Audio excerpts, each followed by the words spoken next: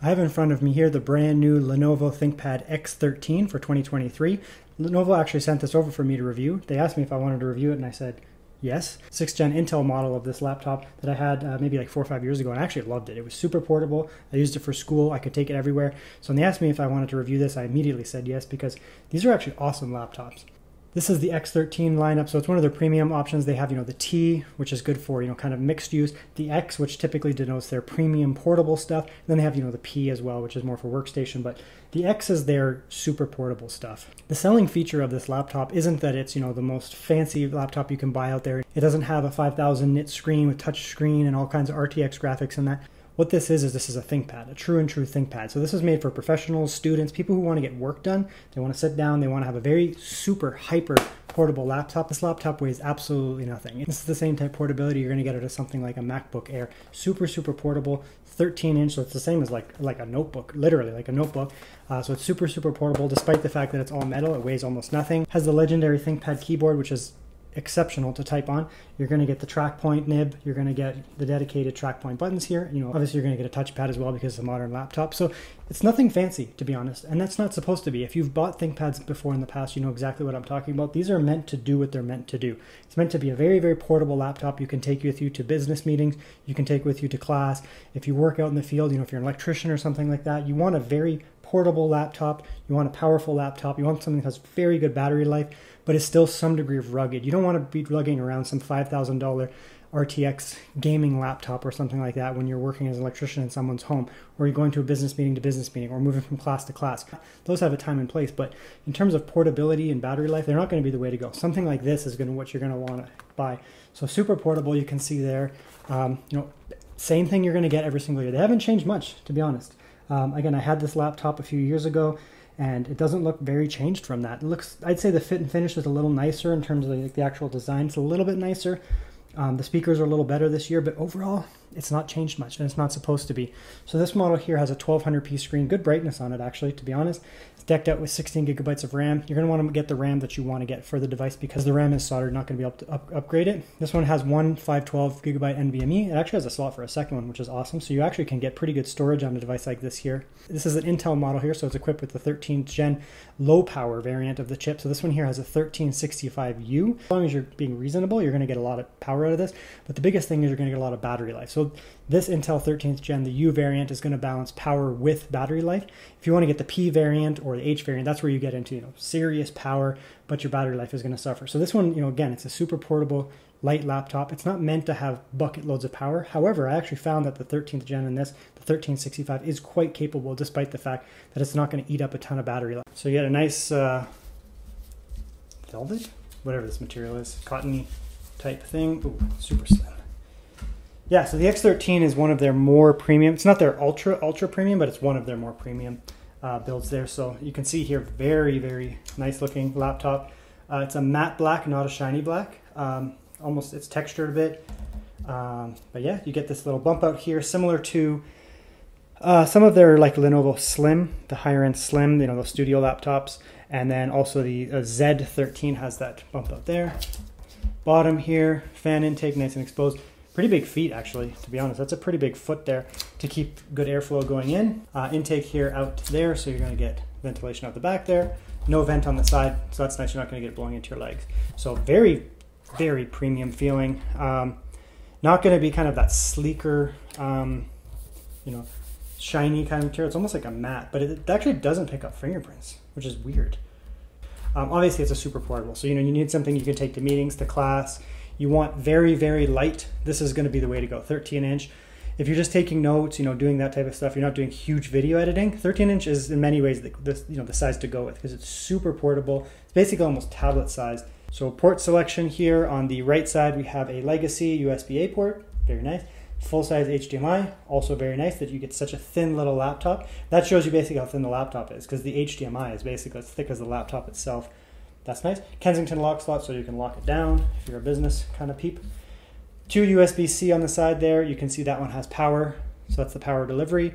Um, video out as well another USB actually on this side too. So you actually get quite a bit of I/O. You get two USB-A, two USB-C, headphone microphone jack. So for a 13 inch laptop, that's pretty impressive. So very premium look to it, obviously. Um, This is one of the higher end Lenovo ThinkPads, so you're going to get kind of that premium design, but it's still a traditional ThinkPad. So when you look at this, I've used ThinkPads over the years, many, many years, and I've there's a ThinkPad design language. This has the ThinkPad design language.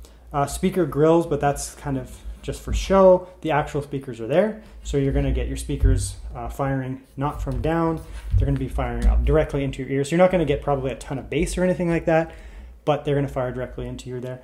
Uh, your power button there, this one I can tell right off the bat is a fingerprint just based on the way it looks.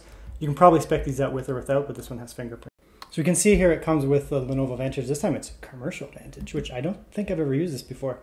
You can do very critical updates from here. So you're going to want to use Vantage first and foremost. So when you first get your device, before you update Windows via Windows, you're going to want to update your physical device via Vantage because this will be able to update your BIOS, which is important.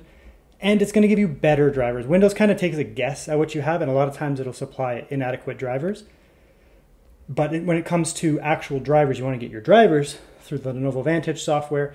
Windows can update its own features through Windows Update. But okay, so now we'll do an audio test here. Again, the speakers are firing up. There's no down firing speakers.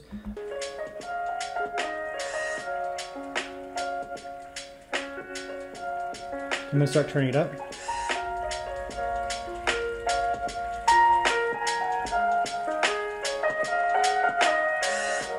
Okay, so for music, it gets quite loud. It's very clear, very, very clear speakers. Um, no issues with it. It has almost no low end bass whatsoever. But again, they're up firing speakers only. There's no down firing whatsoever. So it does lack bass, but it's not that kind of system. It's a 13 inch like Windows thin and light um, Ultrabook. Um, usually for business purposes, but it sounds totally fine. There's absolutely nothing wrong with it. Now we'll test the spoken part, and I'm going to go to my brother's video here, and we'll see how, because he talks a lot, and we'll see how it sounds in terms of speaking. I think that's more what you're going to be using this for, you know, teleconferencing, meeting, that kind of stuff. I guess they can't really have references to alcohol in a T-rated game. Study, 90% of video games start with easy tutorial level. Whoa, self-awareness? This is a video game they weren't wrong. This game does start with an easy tutorial level. Every yeah, so it sounds great. Uh, very very crisp. Again, doesn't have bass, so it's not a music machine, not a media machine. Um, but in terms of the actual audio clarity, it's really nice actually. So the screen here, it gets quite bright. Um, I have it turned up. Uh, you know, you can get up bright and dark. It's pretty bright. I mean, it's not going to be 1200 nits like some ultra premium devices, but ThinkPads come with a very wide range of screens, I guess I'd say. This is a nice screen. It actually looks pretty nice. We can change the scaling there. I usually like a little bit lower. And it's a 1200p screen, so you know it's not ultra 1440p 4K, but again, it's a 13-inch laptop, so 4K would just kill your battery, and it would be crisper, but it would kill your battery. 1440p or 1600p would be nice, I guess. It would give you more app space, but I think for 13-inch laptops, 1200p is actually fine. Uh, there's going to be potentially some reflections on the screen here, um, but again, this is a real work environment here and I don't see any bloom whatsoever. This is a black scene here, and there's zero bloom anywhere around the screen there whatsoever, and perfect black uniformity. It's not an OLED screen, so it's not the blackest black, but actually it's pretty dark. So the contrast ratio on this off my eye, which is how I do things, it looks pretty good, to be honest. And there's no bloom. So for an IPS screen, good black uniformity, no bloom, that's already a win right off the bat. But let's check the colors now. And you can really see the transition there between the blacks and the colors. It's actually nice, quite nice for an IPS screen. Yeah, very good colors, I can already tell. You know, vibrant. Let's, uh, there's a Samsung one, or uh, see how it looks. Again, this is not a professional ranking, but I work with colors a lot. Um, and this looks good. I have a lot of very color accurate screens. This seems specifically, I can always tell if the greens are oversaturated or the reds are undersaturated, oversaturated. I can usually tell from this scene here. This looks good. I can tell right off the bat that it's a pretty good screen. Again, not professional tier photo editing, you know, 4K screen, but it looks quite nice. Um, a lot of times, like I said, these business laptops, they slap in crappy screens. That looks quite nice. They slap in crappy screens from different brands. I think HP is really bad for that. Like they just toss in 220 nit garbage. Um, and you can buy their expensive screens, but you really have to pay for it. This one here has a pretty nice screen. Let's have a look at the keyboard and trackpad. So obviously we're looking at a legendary Lenovo ThinkPad. Uh, let's start with the trackpad here. So very smooth actually. So this is you know textured. This is very smooth. I wonder if it's glass topped. I don't think so. It's almost like like a very silky rubber or something like that. Very, very smooth, strangely. So left click, right click, scroll, and you know you can use this like a mouse and keyboard basically. You can basically use the track point here, uh, you know, move around your cursor, you know, move your cursor around on the screen like this here, and then type a little bit, move it around, type a little bit, move it around, scroll, right click, rather than having to remove your hand down here and actually, you know, use the gestures here to move like that, and then come back and type, back and type. Whereas this here, you know, you have the nib there, so you're basically typing and you can just, without removing your hand directly. And it's your typical, you know, Lenovo ThinkPad keyboard. You get the 1.5 millimeter travel, good travel. So let's do a little test here.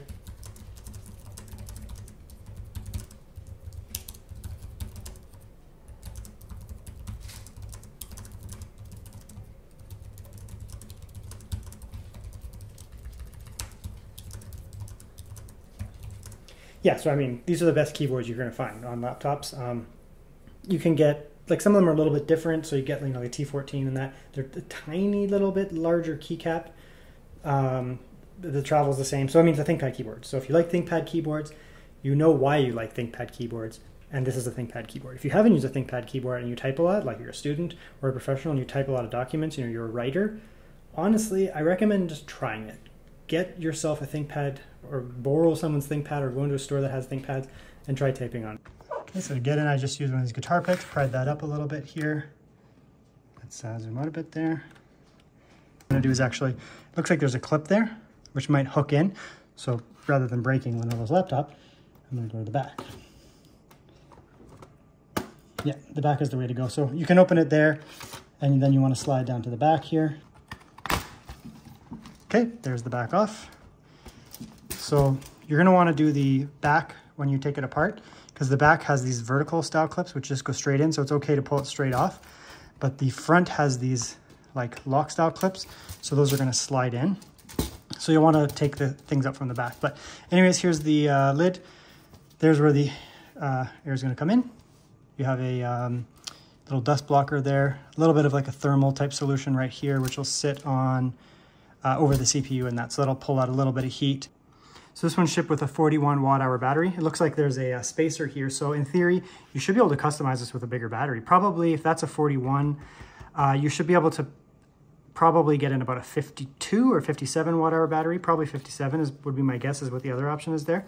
So you can spec that out. So we'll see what we can get out of this even smaller battery. The fact that it's 41 watts, uh, watt hours, see what we can get. Uh, there's your uh, speakers right there. So the first one, second one, like I said, they're up firing, so they're gonna go that way. So they're nice and clear, not a lot of bass, but still nice and clear. Uh, and then you have your NVMe, so full size 2280 NVMe with a nice copper heatsink on that. Wow, surprising they put copper. That's that's a very high-end heatsink right there.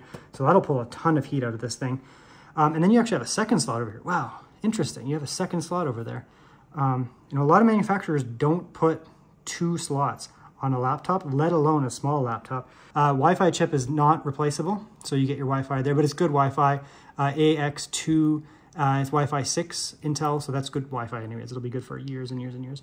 Uh, pretty interesting fan there. So even though this is a very thin laptop, and you have a tiny little fan there, you have a nice spread over there. So probably, I'd guess there's some VRMs or something under there. Probably, and it's gonna pull heat out there. Uh, you have your RAM here, soldered, non-upgradable RAM. So this is 16 gigabytes. So spec it out with what you want. I don't, I don't even know if this comes with eight, but you're gonna want 16 or above. And uh, there's your uh, cooling there. So okay, here's a look at the built-in webcam. Uh, it looks to be pretty good. There's no um, trailers, not that bad. Um, it looks good enough to be honest.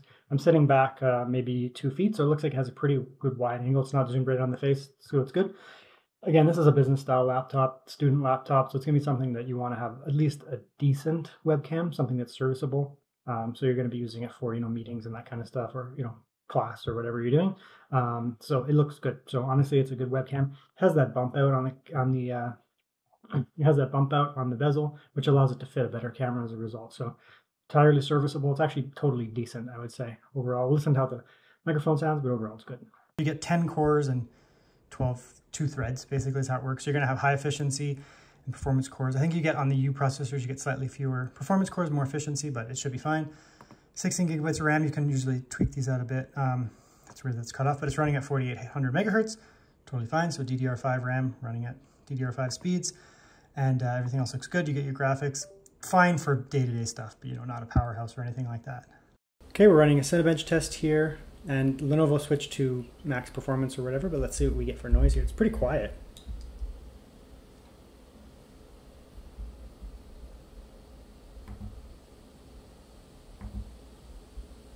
So you can see the CPU switch is up. Very quiet actually. Move this back towards me.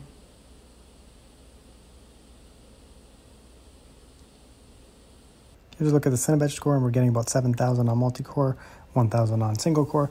Uh, you know, not the most impressive results out there, but again, this is a low power CPU. So for day-to-day -day use, you know, you're going to be balancing good battery life with actually pretty good performance overall. So that's pretty good. Included NVMe is quite fast. So it's a Kioxia uh, 512 gigabyte. You can spec it out with more if need be. 5.2 gigabyte per second reads uh, and 3.5 on the writes. So perfectly very good for an operating system drive. And again, it has that second slot. So you may just want to keep this in there and put in a, put in a second NVMe for more for storage and keep this one for the operating system. I'm getting about 450 to 500 megabytes a second upload and download, which is quite good on the Wi-Fi. So very good chip in there. And you can see battery life here is actually decent too. So this first clip here, I have YouTube going. I'm on best power efficiency. Brightness is turned way up. I don't like to test this with low brightness because people don't use their laptops that way. And you can see here I'm getting uh, about four hours with 86%. So YouTube playback, you'll probably get about four and a half hours of, you know, mixed use, I'd call it, uh, you know, just messing around on the laptop, watching YouTube, nothing super intensive. But then when doing some document editing, uh, you can see it jumped up here quite a bit. So same 85%, and we're up to uh, five hours and 30 minutes. So you're going to get probably around six-ish hours. So, you know, if you're taking this to class or something like that with you and, you know, you're just, you know, writing and taking notes and things like that, it should last you a full work day or a full learning day uh, you know, six-ish hours. And of course, I mean, it's USB-C charging, so it's not hard to find an outlet. And you know, despite the fact that it is all metal, like metal top, metal bottom, um, and like the inside as well, you know, this is metal. That's why you're not getting any flex on it. Very rigid, very, very rigid laptop. You can see there, like, you know, breaking it. It's a very rigid laptop. So you can take this with you and you're gonna, you can take this with you and, you know, toss it in your bag. If you have a business meeting, you know, you can open it up, set it down the desk. If you're in a professional environment, you know, if you're on the road, doing that type of stuff, you can move it around and you're not going to feel like you're going to break this laptop. Some laptops, you know, they're super premium and you're going to worry about, you know, breaking them and causing damage to them. Not this, I mean, unless you toss it on the ground or something, but, you know, you're not super worried about something like this, you know, just, um, you know, getting scratched up or anything like that because it's a ThinkPad. It's meant to be functional. However, it's very clean, very nice looking, very premium feeling, very premium looking. Um, so, you know, this is going to be a perfect device for, so, I mean, it's a ThinkPad. If you've used ThinkPads, you know what they are. This is one of the better ThinkPads. You're going to get the X series. So it's, I mean, it has no negatives that you're going to get from, you know, certain brands. If you're going to get this type of business laptop, you can get them from Dell and other brands as well. I've always leaned towards ThinkPad because they just have amazing keyboards and just the quality is there.